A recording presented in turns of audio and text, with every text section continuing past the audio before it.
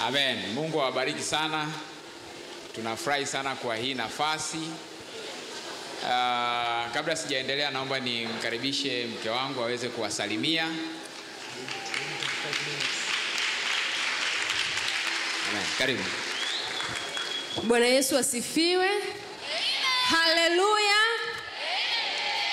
Najisikia vizuri sana. Amen. Miaka kadhaa iliyopita nilikuwaga nakaa pale kwenye ile nguzo nikiwa nimevaa raba nyeupe na sketi ya orange. Jangwani, Bwana asifiwe. Kwa hiyo najisikia vizuri, najisikia kunyenyekea, natetemeka, naogopa kwa sababu tumesimama mbele ya watu wa thamani sana. Haleluya. Nyewe watu ni wakubwa. Bwana asifiwe. Mwambie jirani yako usinichukulie poa, Yesu anakaa ndani yangu. Okay, nimemsindikiza mume wangu kipenzi Dr. Stanislaus George Mwanisawa. Naomba tuombe na tujiandae kwenda kupokea. Kuna kitu Mungu atasema na sisi. Baba, tunakushukuru kwa uaminifu wako, asante kwa wema wako. Tunanyenyekea mbele zako mchana wa leo tena Bwana, kutupa neema kusimama mbele ya watu wakubwa, watu wa thamani ambao Bwana umewaweka kuweza kupokea kitu cha kimungu jioni ya mchana wa leo.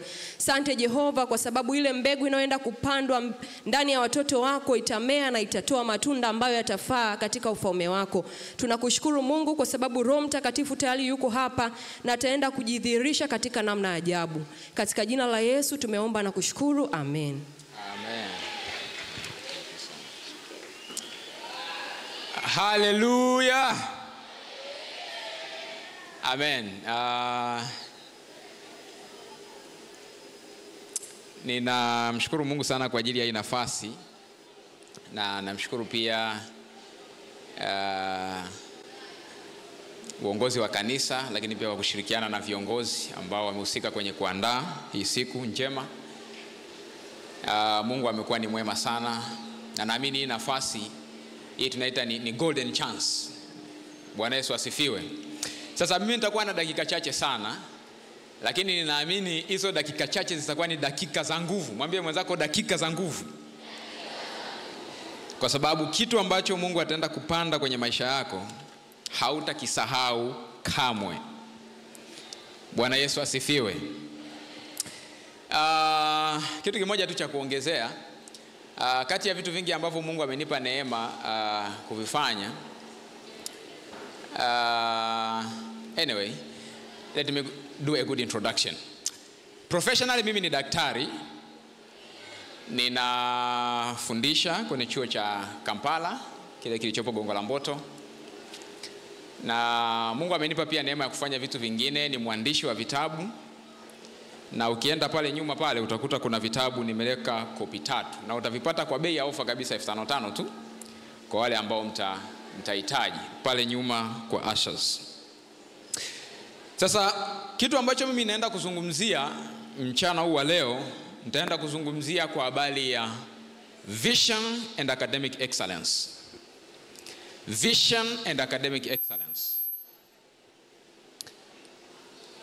vision and academic excellence. Nitafocus sana kwenye vision lakini nitaconnect na academic excellence na kwa nini ni muhimu kwenye maisha yako. Twende tukasome kile kitabu cha mwanzo sura ya 12 amini sura ya 13 kitabu cha mwanzo sura ya 13 tutasoma ule mstari wa 14 mpaka wa 17. Kitabu cha Mwanzo sura ya 13 mstari wa 14 mpaka wa 17.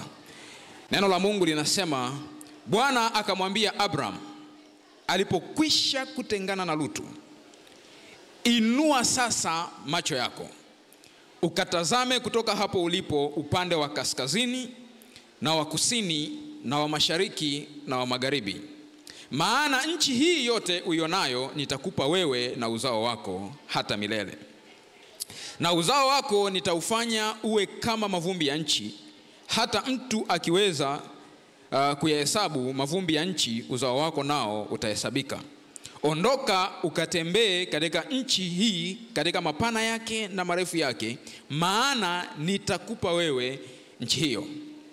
Ninaomba upigie mstari ile neno ile, ile, ile mstari wa 14 anasema inua sasa macho yako ukatazame kutoka hapo ulipo.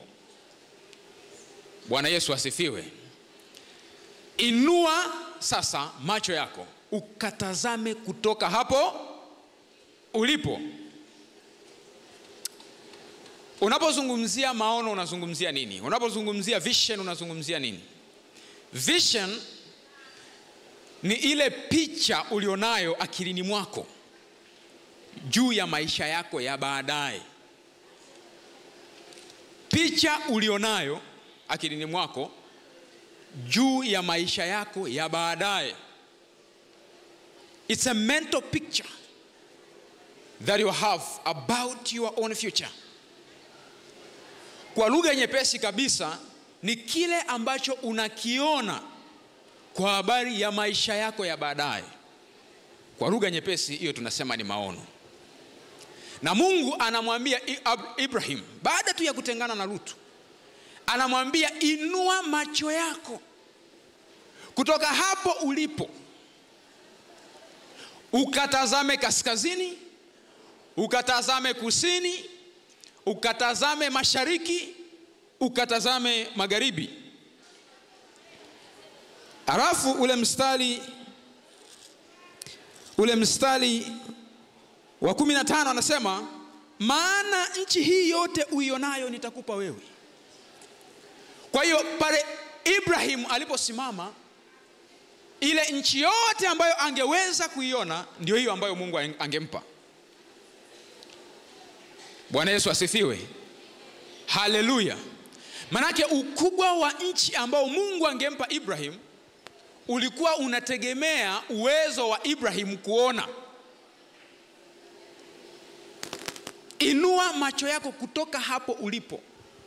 Ukatazame nchi yote utakayoiona. Hiyo nitafanya nini? Nitakupa. Bwana yesu asifiwe. Haleluya. Haleluya. Muulize jirani yako unaona nini? Unaona nini juu ya maisha yako ya baadaye? Kwa sababu kile unachokiona ndicho ambacho mungu atakupa. Bwana yesu asifiwe. Anamwambia as far as you can see that I will give it to you. Kwa hiyo kitu ambacho mungu anakupa kwenye maisha yako mara nyingi sana kinaathiriwa sana na uwezo wako wa kuona. Ndio maana mungu anamwambia nchi yote utakayoiona hiyo nitakupa. Mwambie jirani yako inua macho yako sasa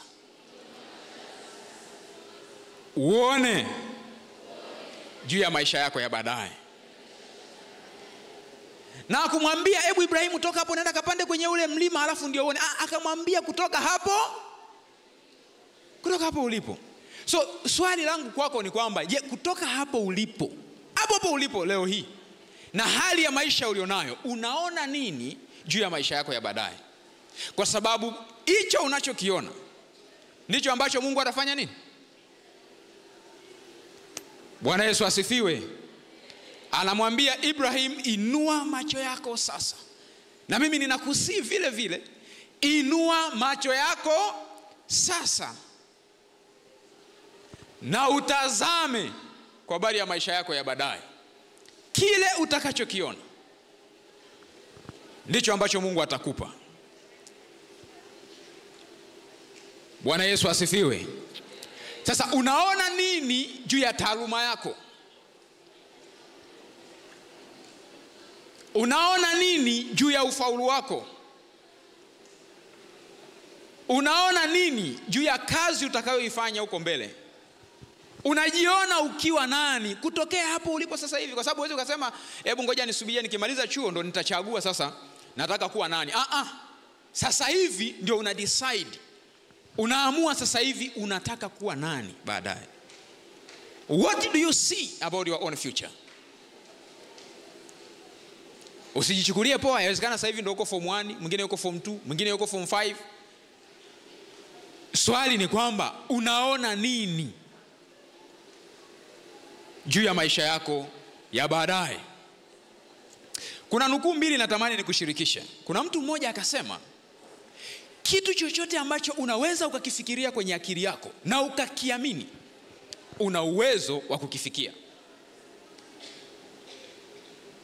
Kitu chochote ambacho unaweza ukakaa ukakifikiria akilini mwako alafu hicho kitu ambacho unakifikiria ukakiamini una uwezo wa kukifikia. Shida tulionayo afrika sio kwamba hatuna akili sana sio kwamba mungu aliwapendelea wazungu hapana. The difference iko hapa. Bwana yesu asifiwe. Haleluya. Kwa sababu nikisoma kwenye kitabu cha mwanzo sura ya, ile sura ya kwanza mstari wa 26 sioni mungu akisema sasa na tumuumbe mzungu alafu tuje tumuumbe mwafrika. Aa, anasema na tumfanye mtu. Bwana yesu asifiwe.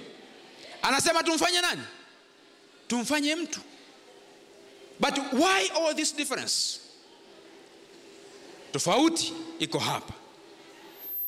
Tunaona nini akilini mwetu? So the question is what do you see? What do you think? What do you believe about yourself? Hicho ni kitu cha muhimu sana. Nakumbuka nikiwa form 5 nimesoma shule ya iunga ni, ni, ni, niliwaambia wanafunzi wenzangu nikawaambia nataka kuwa mwanafunzi bora tanzania. Wakasema ah.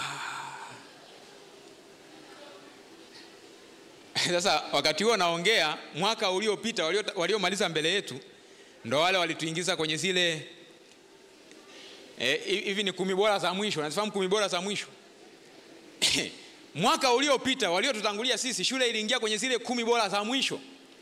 Tulikuwa tunaogopa hata kuingia na matisheti mtaani ulikuwa ukimwambia mtu atoke, atoke shuleni na uniform ni ugomvi. Kwa sababu mkiingia wanaambia nyinyi mnazuruazurua ndio maana mnafeli mi nikawambia watu natamani sana na namwomba mungu niwe moja kati ya wanafunzi bora tanzania. Bwana yesu asifiwe. Haleluya. Nikachukua notebook yangu nikaandika max ama grade niliyotaka kupata kwenye hiyo kwenye huo mtihani wangu wa mwisho. Bwana yesu asifiwe. Haleluya. Kosa nililolifanya.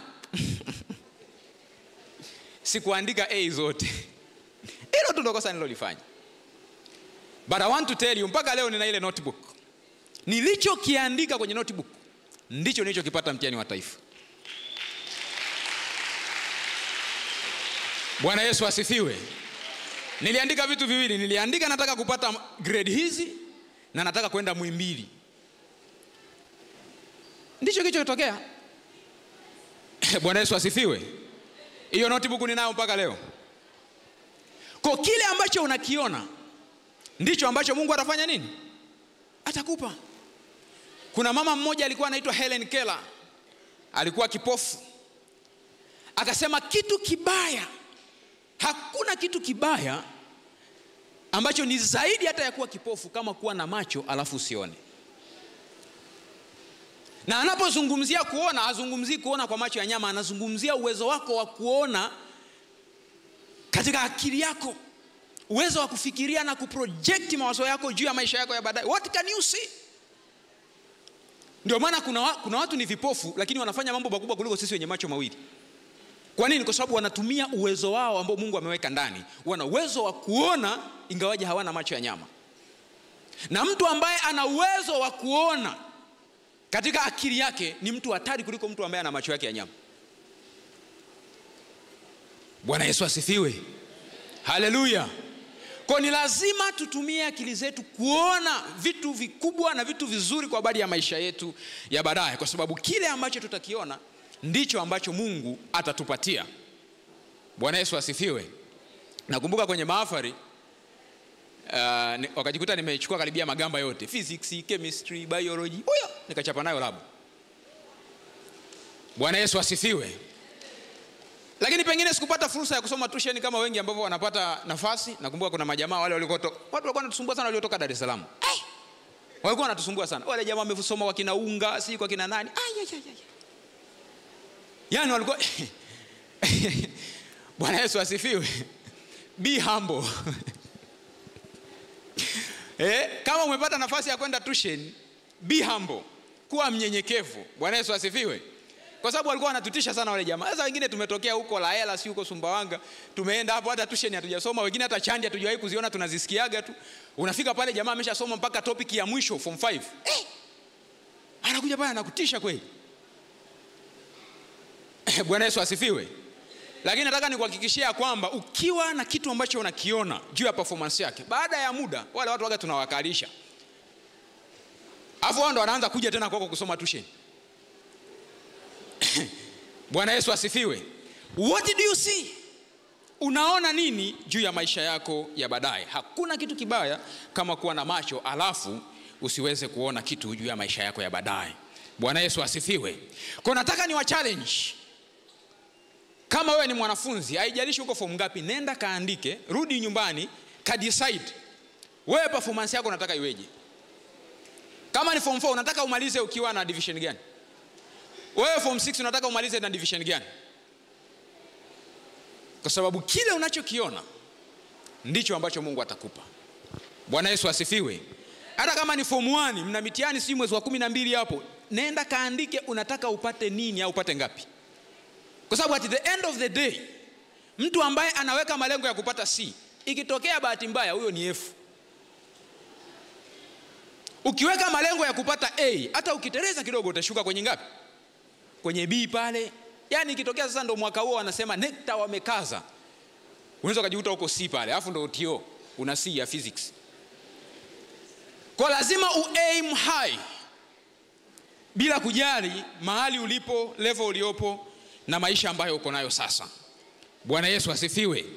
Lakini ukisha decide kwamba unataka kupata nini unataka ku, ku, ku, kufaulu kwa kiwango gani unataka kuwa nani baadaye kuna vitu ambavyo ni lazima uvifanye ili hayo maono sasa hicho ambacho unakiona kiweze kutimia. Bwana yesu asifiwe. Yusufu akiwa na miaka kumi na saba tu mungu anamwonyesha kwa habari ya maisha yake ya baadaye. Ya kwamba atakuja kuwa mtu mkuu na atakuwa msaada kwa familia yake lakini pia atakuwa msaada kwa watu wengine sasa haikutokea tu bahati mbaya yusufu pap akajikuta amekuwa waziri mkuu kule misri. Hapana. Kuna vitu ambavyo ni lazima yusufu alivizingatia. Kuna vitu ambavyo lazima yusufu alivizingatia. Na hivyo vikamsaidia kwenye kutimiza maono na ndoto aliyokuwa nayo. Sasa mambo ambayo unatakiwa kuyafanya inawezekana wewe ni mwanafunzi umeweka malengo yako lakini pia una ndoto una vitu ambavyo unaviona juu ya maisha yako ya baadaye. Nitakupa mambo machache. Kuna vitu vingi sana ambavyo naweza nikakueleza lakini nitakueleza mambo machache tu. Jambo la kwanza jambo la kwanza na nitazungumza sana hapa in relationship na masomo ambayo tunayasoma.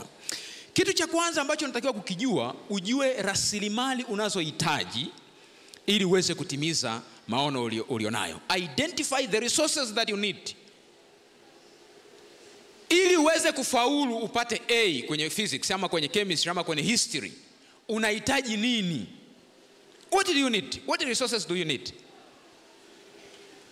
What resources do you need? Automatically unahitaji vitabu si ndio? Unahitaji kupata hizi eh, tunaita past papers si ndio kwa hiyo ili mimi kama mwanafunzi nina malengo ya kupata ufaulu fulani lazima nikusanye hivi vitu. Hizi ni resources ni, ni, ni rasilimali ninazozihitaji kunisaidia kufikia yale maono niliyonayo si ndio? One of the difference ya kwangu na dada zangu wakati tunasoma mama alikuwa anatuachia ile hela ya matumizi. Tofauti ilikuwa inakuja tunaporudi likizo. Tukirudi likizo dada zangu alikuwa wanarudi na magauni mazuri sana. Watarudi na nguo nzuri sana. Kijana nikirudi nilichokiongeza ni vitabu. Na matio na mamangu alikuwa ananihuzunikia sana. Bwana yesu asifiwe. Nili, yaani hela yangu nilikuwa, nilikuwa nasitumia sana sana kununua material. Nakumbuka siku narudi nyumbani nimemaliza form 4 nilikuwa na tranka langu moja hivi limejaa materials tu. Jamaa amini conductor wakati analipakia sema umebeba nini? Umeona kama umeweka magunia umeweka mchele humu ndani? Nikamwambia hapana hiyo ni material tu natoka shule kwa sababu nilijua kwamba ninahitaji hizo resources ili zinisaidie kuweza kutimiza malengo yangu. Kwa hiyo wazazi wanapokupa hiyo hela ya matumizi mtumishi usiishie kununulia maandazi. Kuna watu wanataka waweke heshima pale lazima a, anywe uji na maandazi. Ah, mi sikatai. Lakini hakikisha hiyo hela ambayo unaipata hata iwe ni ndogo kiasi gani make sure inakusaidia kwenye kupata rasilimali unazozihitaji kuweza kufikia malengo na maono ulionayo bwana yesu asifiwe. Haleluya. Lazima tutambue tunahitaji rasilimali rasilimali gani. Huwa anapenda sana kutumia mfano wa wale jamaa waliojenga ule mnara wa babeli kwenye ile kitabu cha, maten, uh, kitabu cha mwanzo sura ya kumi na moja. Ukisoma ule mstari ile mwanzo kumi na moja mstari wa, wa tatu maandiko anasema wakaambiana haya na tufanye matofari tukayachome moto walikuwa na matofali badala ya mawe na lami badala ya chokaa. Maana yake ni kwamba hawa watu wanasema walikuwa na nini? Matofali badala ya nini? Ya mawe. Maanake kitu walichokuwa wanahitaji kwa wakati huo ilikuwa ni nini? Mawe ndio wayatumie kujenga. Lakini kwenye eneo walilokuwa walilokuwepo walikuwa wana uwezo wa kuaksesi mawe. Wakasema aha ko ni risosi gani ambayo tunaweza tukaipata hapa? Tuna uwezo wa kutengeneza matofali. Kwa hiyo wakatengeneza matofali wakaanza kujenga mnara wao bwana yesu asifiwe.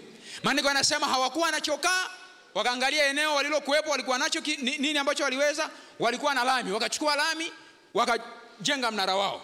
Wewe ni rasilimali gani ambazo una access nazo? Yawezekana una uwezo wa kwenda kununua kile kitabu cha elfu arobaini lakini kitabu hicho hicho kikitolewa kopi unakipata kwa elfu kumi.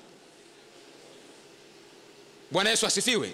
Ko ni lazima uangalie utafu, utambue rasilimali unazozihitaji alafu hizo rasilimali uangalie namna ambayo unaweza ukazipata kwa urahisi kulingana na uwezo wako. Bwana yesu asifiwe. Kama una uwezo wa kupata vitabu pata vitabu. Kama una uwezo wa kununua hayo mapamfleti siu hizo kopi kanunua hizo kopi. Cha msingi uhakikisha ya kwamba unakusanya resources unazofanya nini? Unazohitaji. Lakini pia jifunze kutumia resources kutoka kwa wengine. Unamjua joni ana kitabu fulani. Kazime bwana yesu asifiwe ko lazima tu identify resources tunazohitaji na tuweze kuzitumia kwenye kutimiza malengo yetu. Miles monroe aliwahi kusema ukiamini juu ya ndoto na maono ulionayo ukiamini juu ya maono na ndoto ulionayo automatically zile ndoto ama maono ulionayo waga yana, tabia ya kuanza kuvuta zile rasilimali unazozihitaji ili uweze kutimiza malengo yako. Bwana yesu asifiwe. Inawezekana una kitabu lakini the moment utakapo decide kwamba mimi nataka kuwa mwanafunzi bora tanzania utashangaa tu rasilimali zinaanza kuja. Kwa sababu umekiamini kile ambacho unatamani kukifikia. Ko lazima tujue tunahitaji rasilimali gani na tuanze kuzikusanya ama kujua ni nani ana rasilimali fulani inayohitaji na tuweze kumtumia huyo mtu kutusaidia kupata rasilimali tunazohitaji na tuweze kufikia yale maono ambayo tunahitaji. Lakini jambo la pili ambalo unahitaji kufanya ili uweze kufikia maono yako ni lazima uwe na determination. Determination. Ni lazima uamue kutoka ndani kwamba hautakubali kitu chochote kikuzuie kufikia hayo maono na ndoto ulionayo bwana yesu asifiwe. Usikubali kitu chochote kikuzuie kutimiza hiyo ndoto na maono ulionayo. Ukisoma kitabu cha mwanzo sura ya 11 mstari wa sita neno la mungu linasema kitabu cha mwanzo sura ya 11 mstari wa sita neno la mungu linasema bwana akasema tazama watu hawa ni taifa moja na lugha yao ni moja na haya ndiyo wanayoanza kuyafanya. Wala sasa hawatazuiliwa neno wanalokusudia kulifanya. Huyu ni mungu anaongea sio mwanadamu. Anasema hawatazuiliwa neno walilofanya nini? Walilokusudia kulifanya. That means ukiamua kutoka moyoni mwako kwamba hautaruhusu chochote kizuie kutimiza ndoto na maono yako inawezekana. Bwana yesu asifiwe. Hawa jamaa mtu pekee ama aliyeweza kuzuia wao kuendelea kujenga ule mnara alikuwa ni nani? Ni mungu. Ilibidi mungu mwenyewe ashuke avuruge lugha yao ndo majamaa wakashindwa kuendelea na biashara yao. Bwana yesu asifiwe. Maanake lazima tuamue kutoka mioni mwetu kwamba kama mimi nimedisaidi nataka kuwa mwanafunzi bora lazima nisome kwa bidii na nisiruhusu chochote kizuie mimi kutimiza maono nilionayo. Nakumbuka wakati tuko advance tulikuwa na mara, nilikuwa na marafiki zangu ambao wote tulikuwa tuna, tuna, tuna malengo ya kwenda wapi? Muhimbili lakini kuna rafiki yetu mmoja baada ya matokeo ya mock kutoka hakuwa amefanya vizuri sana. Ah, alivyoona tu matokeo ya mock yametoka hajafanya vizuri akasema ah, bwana mwimbili mimi huko nimeahirisha huko nimewachia. And that is what happened.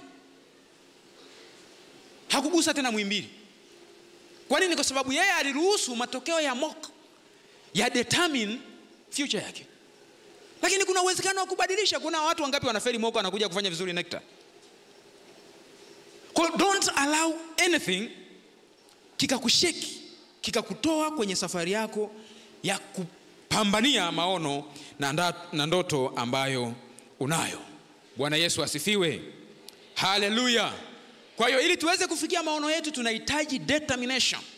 Inawezekana wazazi wako hawana uwezo hata kukupa hela ya matumizi kwa mwezi. Wewe pambana waambie nitakula maharage na ugali ninaopewa hapa shuleni mpaka nitakapofikia maono na ndoto ambayo mungu umeweka ndani yangu bwana yesu asifiwe. Haleluya. Jambo la tatu. Jambo la tatu unalohitaji kufanya ili uweze kufikia maono na ndoto ulionayo ni kuwa mtu mwenye self motivation. Uwe ni mtu ambaye unajihamasisha mwenyewe. Self motivation. Bwana yesu asifiwe. Self motivation. Ukiwa ni mwanafunzi ambaye mpaka mwalimu wa zamu aje akutoe huko dom ndo ukasome wewe una shida watu wote ambao wana maono ni watu ambao huwa wanajihamasisha. Wanajisukuma wenyewe kufanya kitu wanachotakiwa kukifanya ili waweze kutimiza maono yale ambayo wako nayo. Kwao ni lazima uwe ni mtu ambaye unajitia moyo na unajihamasisha kufanya vitu unavyotakiwa kufanya. Unajua kabisa kwamba ili ni faulu ni lazima nisome kwa nini kwa hiyo wewe mwenyewe unajisukuma. Sio mpaka mwalimu wa zamu aje sijui uhangaike kufunga dom sio si mpaka aje akutafute umelala mpaka chini ya kuna watu wanajificha kule uvunguni muda wote wa prepo mpaka mwalimu. Yaani ukishajiona umekuwa ni mwanafunzi wa namna hiyo ujue automatically hauna maono hauna ndoto. Na kama una maono na una ndoto alafu unakuwa ni mtu wa, ku, wa, wa kulazimishwa kufanya vitu unavyotakiwa kufanya ujue wewe una shida na hautaweza kufikia maono na ndoto ulionayo. Bwana yesu asifiwe haleluya. Ukisoma habari za hawa jamaa waliokuwa wanajenga mnara walikuwa ni watu ambao wanajitia moyo. Wanasema hebu njooni jamani tufanye matofali na tujenge. Yani wao wenyewe wanajihamasisha. Hawakusubiria mtu aje aanze kuwatia moyo. Hawakusubiria mtu aanze kuwashikia kiboko. Aa, lazima to take initiative. Lazima tuwe ni watu ambao tunajitia moyo na kujihamasisha tufanye vitu tunavyotakiwa kufanya ili tuweze kufikia maono na ndoto ambayo mungu ameweka ndani yetu. Bwana yesu asifiwe. Haleluya. Kuna wakati mwalimu akichelewa darasani unamfuata kabisa ule mwalimu mwalimu unaambia mwalimu una kipindi sasa hivi.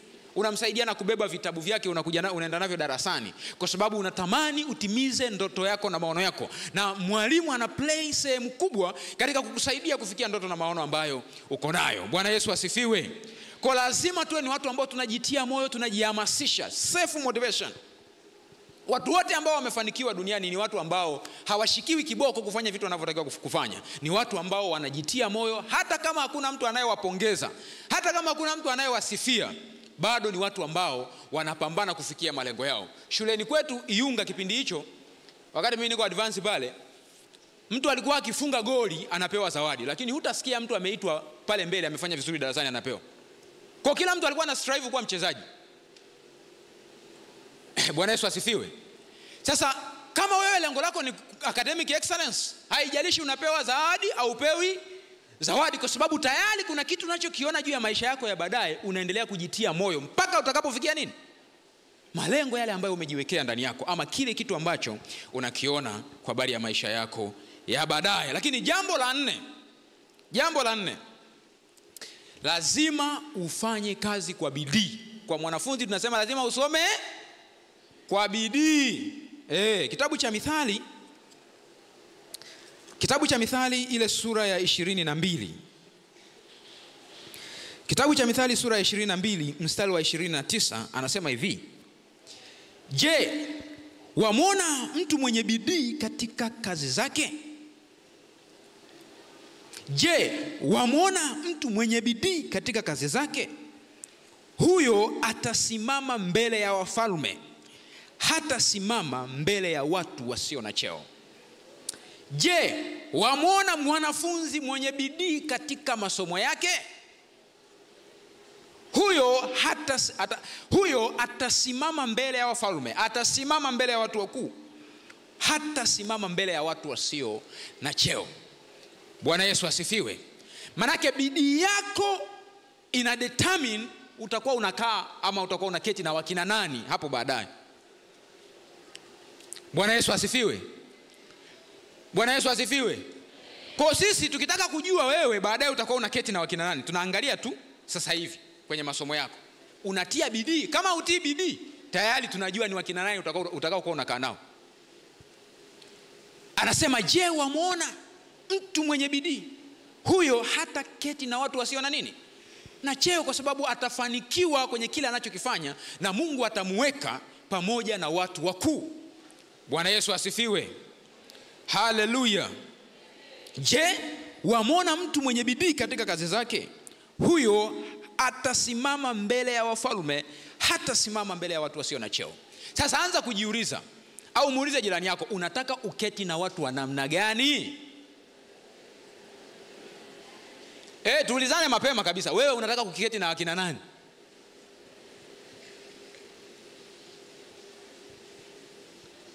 Unataka uketi na wakina nani? Kitabu cha mithali hiyo hiyo sura ya kumi. Mithali sura ya kumi mstari wa nne anasema hivi atendaye mambo kwa mkono wa ulegevu huwa maskini. Mwanafunzi anayesoma kwa ulegevu lazima atafeli na akisha feli ataenda kufanya nini? Ataketi na wakina nani? Ah, sasa hiyo utakonkludi mwenyewe mimi sijasema. Lakini anasema atendaye mambo kwa mkono, wa mle, kwa mkono mlegevu huwa maskini bali mkono wake aliye na bidii hutajirisha. Manake unapofanya vitu kwa bidii mara nyingi mungu anabariki kile unachokifanya na unafanikiwa kwa hiyo kama ni mwanafunzi ni lazima uweke bidii kwenye masomo yako. Lazima uweke bidii kwenye masomo yako. Mimi nakumbuka nilivyokuwa olevo kuanzia form 2 niliishi shule kama niko nyumbani hivi. Yaani nilikuwa na enjoy maisha. Nilikuwa na enjoy maisha. Eh? yaani most of the time nilikuwa na spend na headmaster kwa sababu wale ni watawa ilikuwa shule ya wakatoliki. Kwao kuna zile siku ananichukua mwani sawa twende kule naenda napata chakula kile ambacho wanapata chakula kizuri. Tunasema unachafua meza au sio? Au sio? Bwana yesu asifiwe. Nilikuwa nawaambia na, na, na, na wengine nikawambia nilivyokuwa olevo ilifika hatua mkuu wa shule mimi akaniruhusu akaniambia we mwani sawa unaweza ukatoka muda wote unaotaka. Shuleni. Kwa sababu kuna siku kuna zile ile ile waga wanatoaga e, katika kila mwezi unakuta anatoa siku mwende mkazurule. Kuna wakati zilikuwa zinatolewa hizo na siendi kuzurula ananikuta niko darasani nasoma. And it paid a lot. Bwana yesu asifiwe. Ni bidii gani unaweka kwenye masomo yako? Na kuna wakati unaweza ukapitia changamoto fulani lakini mungu bado atakuinua. Nakumbuka wakati niko form 3 ilikuwa miezi ya saba ya nane ile nikaugua macho. Nilikuwa siwezi kusoma nikikaa tu kusoma hivi mwanga ule machozi yanaanza kutiririka macho kama yanawaka moto. Alafu sasa hiyo hiyo hiyo ishu ikaendelea mpaka tunafanya ile mitihani ya mwezi wa tisa. Nikafeli sana. Nilitoka kutoka kwenye ile kupata wastani wa sabini na nikaja nikapata wastani wa hamsini na kitu. Iliniumiza sana. Yakaanza watu wakaanza kusema ah, huyu hatarudi tena. Huyu hatarudi tena. Alikuwa anajidai. Wakashangaa mwezi wa kumi na mbili tu kijana akarudi kwake. I became the first student. How much are you investing kwenye studies zako? Weka bidii kwenye masomo yako na mungu atakusaidia. Bwana yesu asifiwe. Hata utakapopitia changamoto mungu hajawahi kumwacha mja wake. Bwana yesu asifiwe. Jambo la mwisho ukitaka kutimiza maono na ndoto ulizonazo mshike sana nani? Mungu. Bwana yesu asifiwe. Mahusiano yako na mungu ni ya muhimu sana kwenye safari yako ya kufanikiwa na kufikia maono na ndoto ulizonazo. Kitu pekee utakisikia kwa bali ya maisha ya yusufu utasikia mungu akawa pamoja na kila sehemu. Alipoingia alipouzwa kwenye nyumba ya potifa maandiko yanasema mungu akawa pamoja naye akamfanikisha. Alipoenda jera maandiko yanasema mungu akawa pamoja naye akamfanikisha. Alipokuwa the top anawaambia ndugu zake waliomuuza anawaambia nyinyi mlinikusudia mabaya lakini mungu alikusudia maanake alijua kwamba aliyenifikisha hapa ni nani? Ni mungu. Bwana yesu asifiwe. Na ndio maana hata mwanzoni mchungaji alivyohubiri hapa akasema kama unataka kutimiza hatima yako ni lazima ufanye nini jamani? Uokoke utengeneze maisha yako na nani na mungu unamhitaji mungu kwenye kila hatua unayopiga. Na mungu atakusaidia utaweza kuyafikia yale maono na ndoto ulizonazo bwana yesu asifiwe. Mungu atakusaidia utakuwa kiongozi mkubwa ndani ya taifa hili. Mungu atakuinua utakuwa mwalimu ambaye wanafunzi wako kila sehemu watakapoenda watakumbuka kuna mwalimu alinifundisha. Mungu atakuinua utakuwa mhubiri mkubwa mungu atakuinua utakuwa injinia mkubwa ambaye utakuwa una impact ndani ya taifa na nje ya taifa. As far as you can see unaona nini? Ukijiona wewe utaishia kule kijijini ndio utakakoishia. How far can you see? Mungu anamwambia ibrahimu kutoka hapo ulipo tazama kaskazini tazama kusini tazama mashariki tazama magharibi. Nchi yote utakayoiona hiyo ndio ambayo nitakupa. Naomba tusimame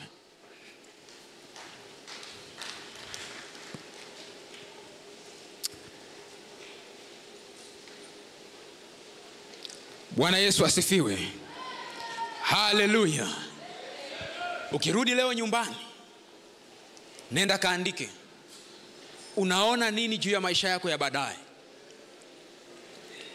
Kitu ambacho nakifanya leo sio kipya kwangu. Bwana yesu asifiwe. Ukiacha hizo resolutions ambazo niliandika nikiwa form 5 kuna resolutions ambazo niliandika nikiwa first year chuoni i have that directly today. One of the things that i asked god nilimwambia mungu ninaomba ukanitumie kwa ajili ya utukufu wako kuanzia nikiwa chuo.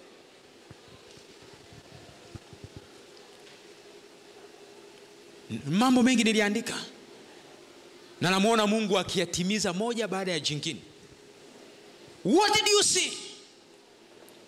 As far as you can see i will give that to you haijalishi familia uliotoka haijalishi kabila lako haijalishi mkoa maandiko anasema god is not a respect of man.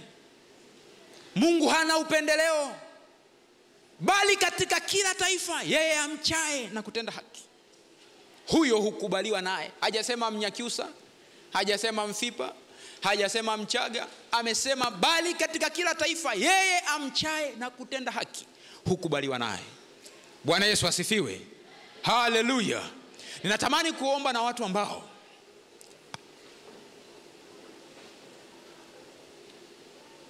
wanasema mimi mpaka sasa hivi sielewi. Sina, sioni chochote juu ya maisha yangu ya baadaye. Na ninatamani mungu anisaidie anionyeshe. Maandiko anasema yeye ni mungu anayeutaja mwisho kabla ya nini? Tangu tangu mwanzo. Anautamka mwisho tangu mwanzo kwa sababu he knows. Anasema ninayajua mawazo ninayowawazia ninyi. Ninajua mawazo ninayo. He want to give us a future. Mungu yuko concerned na maisha yetu ya baadaye. Na anataka kuanza na sisi hivi hivi. Tuwe kama akina daudi. Tuwe kama akina yusufu. Tuwe kama akina jeremaya miaka kumi na mbili mungu anamwambia tangu tumboni mwa mama yako. Nalikujua kwa hiyo kama ulikuwa bado huna picha yoyote juu ya maisha yako ya baadaye naomba uje hapa mbele tuombe pamoja. Alafu roho mtakatifu atakusaidia atapanda ataweka kitu ndani yako. Kwa habari mungu ndiye aliyemwonyesha yusufu akawa anawadisia wenzake anasema niliota ndoto kwenye ndoto yangu nimeona hichi na hichi. Ndugu zake wakasema ah, kwa unataka uje ututawale wewe? Njoo mbele. Njoo mbele tuombe pamoja unasema natamani mungu anionyeshe kile alicho nacho kwa ajili yangu baadaye. Ninayajua mawazo ninayowawazia ninyi asema bwana. Rabo shaka. Yes. Tuwai tuwai muda sio rafiki. Natamani tukamwombe mungu. Tukamwombe mungu. Tukamwombe mungu mungu akatufikishe kule ambako amekusudia. Haijalishi familia unayotoka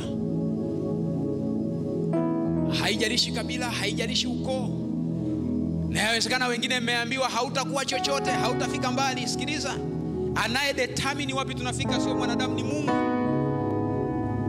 Walimkusudia yusufu mabaya lakini mungu akamwinua mungu ataenda kuachilia kile alicho nacho ndani yake kwa ajili yenu. Atawaonyesha kwa habari ya maisha ya baadaye. Yusufu alikuwa kijana mdogo tu miaka 17 mungu anamwonyesha kwa habari ya maisha yake ya baadaye. Da- david alikuwa kijana alikuwa bado kijana mdogo tu. Renji hiyo hiyo miaka 14 mpaka 17 hapo. Anaenda kupakwa mafuta naambia utakuwa mfalme. So it's not about age ni kwa habari ya kile ambacho mungu amekusudia kwa habari ya maisha yako. Natamani ukamwombe mungu kwa kiu na shauku. Mwambie mungu ninatamani uniungamanishe na kile ulicho nacho kwa habari ya maisha yangu. Ukanionyesha ile picha ya baadaye.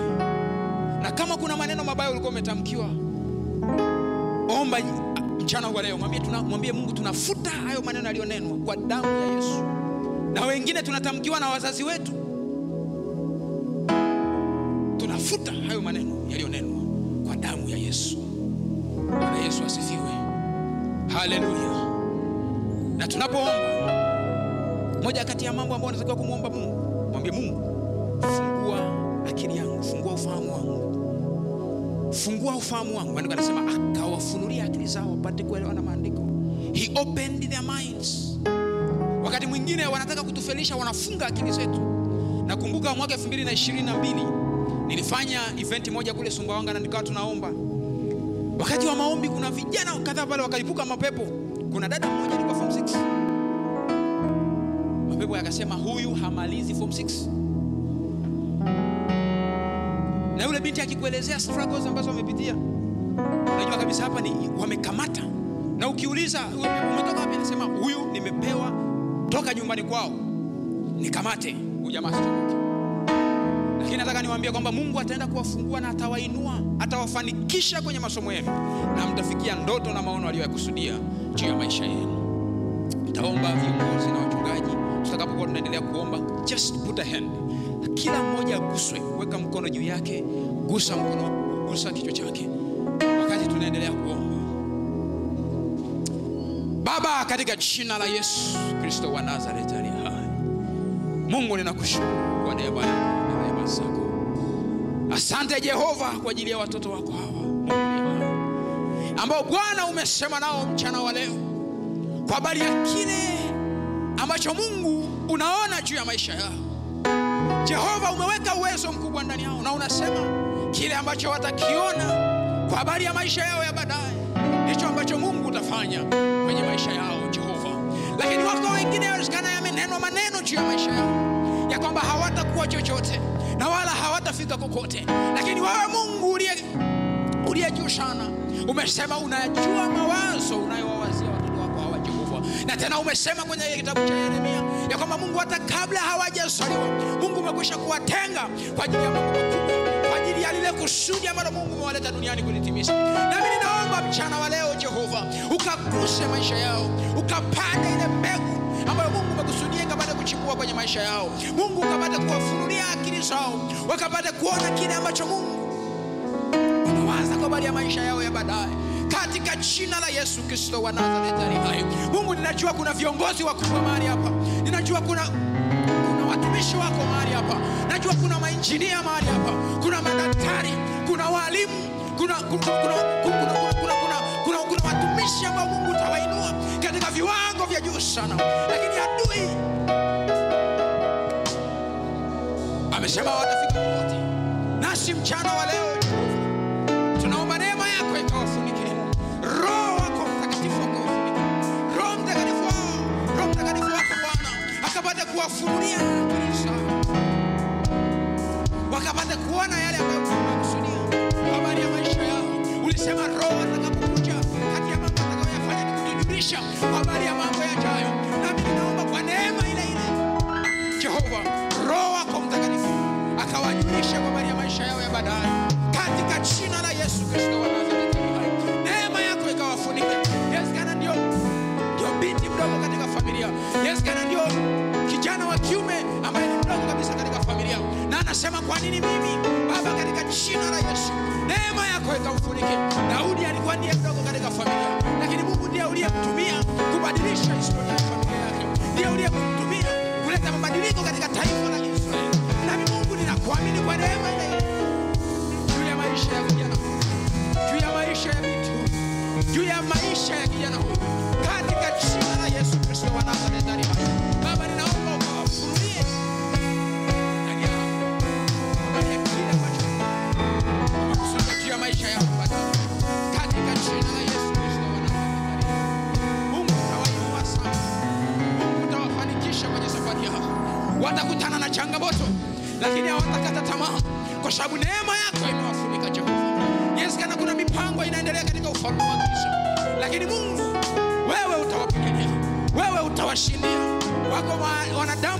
watakusudia mabaya juu ya maisha yao. Lakini wewe mungu umekusudia mema umekusudia kuwainua na kuwatumia kwa ajili ya utukufu wako. Katika jina la yesu. Yes. Yes, Lord. Yes, Lord. neema yako ikawafunike jehova. Yale maono mungu unaweka ndani yao yale maono unaweka ndani yao yale maono unaweka ndani yao jehova. Yakapate kutimia. Kuna watu unaenda kuwatumia kuwa chanzo wanaenda kuwa nuru kwenye familia zao. Kwa sababu ndicho ambacho mungu umekusudia kwa ajili ya utukufu wako. Ninaomba neema yako jehova. Ikawafunika kwa ajili ya utukufu wako. Katika jina la yesu. Yawezekana yuko mmoja anasema kama gideoni. Anasema mimi ndiye mdogo kabisa katika familia. Familia yangu familia yetu ni masikini kabisa katika manasi lakini wewe mungu maandiko anasema hauna upendeleo haijalishi familia tunatoka haijalishi mikoa tunatoka haijalishi makabila tunatoka haijalishi historia zetu. Wewe ni mungu unayetengeneza na kufinyanga maisha ya watu kwa ajili ya utukufu wako baba ukafinyange ukafinyange watoto wako. Ukawainue mungu uliye hai. Tunafuta kwa damu ya yesu kila maneno mabaya yaliyonenwa juu ya maisha yao. Kila maneno mabaya yaliyonenwa juu ya maisha yao tunayafuta kwa damu ya yesu. Maneno ya kushindwa tunayafuta kwa damu ya yesu. Majina mabaya waliopewa katika jina la yesu. Tunafuta kwa damu ya yesu. Tunafuta kwa damu ya yesu. Na kuanzia leo tunatangaza kwamba kwa jina la yesu hawa ni washindi. Tena watashinda na zaidi ya kushinda. Kwa sababu wewe mungu maandiko anasema wewe unayekaa ndani yao ni mkuu sana. Kuliko yeye aliyeko ulimwengu asante yesu kwa neema na neema zako. Asante yesu kwa baraka zako katika jina la yesu. Kuna mtu mmoja alizaliwa anaitwa jabez. Kitabu cha mambo ya nyakati sura ya uh, uh, uh, ile mambo ya nyakati wa kwanza sura ya nne mstari wa tisa na wa kumi. Maandiko yanasema mama yake alimzaa katika uchungu akampa jina lake anaitwa jabez. Jabezi maana yake ni pain sorrow kuna watu mmepewa majina. Ambayo maana yake si nzuri sana. Watu wanaitwa matatizo. Lakini maandiko yanasema jabez was an honorable man alikuwa ni mtu aliyeheshimika. Kwa sababu jina alilopewa ilikuwa ni kama unabii kwamba atakuwa ni mtu ambaye ata experience maumivu kwenye maisha yake. Lakini mungu akabadilisha historia ya yule kijana. Maandiko yanasema jabez was an honorable man alikuwa ni mtu ambaye aliheshimika aliacha sana kwenye maisha. Mungu anaweza akabadilisha historia zetu. Mungu anaweza akabadilisha maisha yetu kwa ajili ya utukufu wake. Mungu awabariki sana. Amen